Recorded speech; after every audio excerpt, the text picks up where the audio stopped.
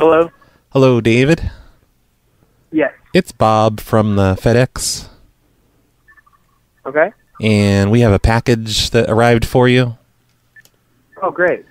And but um, it looks like they hadn't sent it to the to China yet, because we have to send it to They- for the Chinese government to monitor. So we had this. I I don't know if they called you yet, but I just needed to let you know that your package isn't actually ready yet because we've had to send it off to the Chinese government. And after What? after they take a look through it, they'll send it right back. They have an expedited shipping service. You'll hardly know it was gone, but it'll be it'll be here in two days.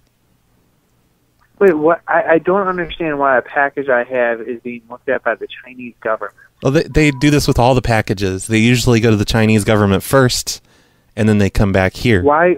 What? what I, don't understand. What does this have to do with the Chinese government? Oh, the Chinese government, they monitor all the packages that come through our store. They give us extra money to do that. They just open up the box and just kind of rifle around. Is this a joke? I, I don't understand. No, it's not a joke. It's just it's something that the uh, certain franchises of FedEx do to make extra money, and it, it, it helps us keep your shipping costs a little bit lower. So, so they open up my package and look at it. Yeah, yeah. They just kind of look around and inspect it, write down the contents, and they write down your name and address and all of the stuff from the packing slip, and then they send it right back to us. It's a really fast process. But yeah, I think they may have called you already and told you it was ready, but it's not ready. We have to send it back up, up to China first, and then they'll send it right back. Am I able to opt out of this service, or I have no choice? Oh no, no, it absolutely. If you're going to use our shipping center, if you're going to use, yeah, if you're going to use us, it, has to go through the Chinese government. It just So it- every package that FedEx sends, it doesn't even make sense. Every package that FedEx sends, you're telling me goes through China? Yeah, through the Chinese. Yes, and they send it right back. It, right. it used to be faster because the the Chinese government they actually had um you know they had a building here in the United States, but since all this craziness How is that legal? I'm trying to understand how that's legal. well, since it's through China, we don't have to follow federal guidelines for you know not going through your mail and stuff.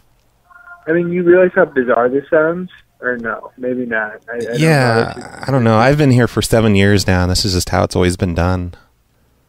Yeah, I, I yeah, now that you mention it, I guess I was a little surprised by it all when I first started working here. But they're they're just All they're just writing down your name and phone number and just you Yeah, know. yeah, I don't really want the Chinese government to have my name and phone number and what I buy, but okay. but what does it matter? What are they going to do with it? It's not like I, I I don't know, but I mean, if I had the option of having them have it or not having them have it, I'd say not having them have it. But all yeah. right, Well, you could use UPS and pay twice as much because they don't do that. But that's how we keep prices down. Okay, You stupid motherfucker. all right. So quit well, quit questioning our our tactics here. But uh, we'll give you a call. store are you at? We'll give you a call. What store are you at? which which location? I'm I'm, I'm at FedEx. Yeah, On what? It's the one you usually come to.